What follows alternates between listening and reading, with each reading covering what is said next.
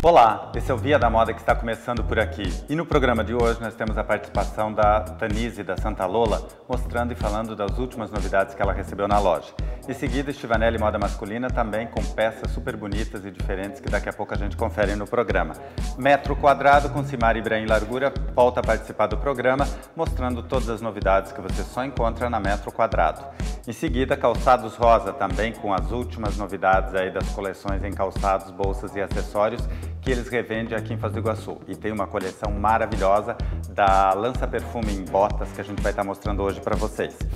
O que encerra o nosso programa é o desfile que a Via Vai realizou semana passada em Cascavel, dentro da Sierra Móveis, junto com Maria Chica Acessórios e Santa Lola, para mostrar a nova coleção da Via Vai, Santa Lola e Maria Chica Acessórios, junto com as peças especiais da coleção Fragmentos, que é o novo showroom, a nova coleção que Sierra Móveis começa a trabalhar. A Renatiane Taborda, que é a dona da Sierra em Cascavel, nos convidou e aí a gente fez esse desfile que a gente mostra no final do programa. Vale a pena você conferir. Mas a gente começa com a Santa Lola.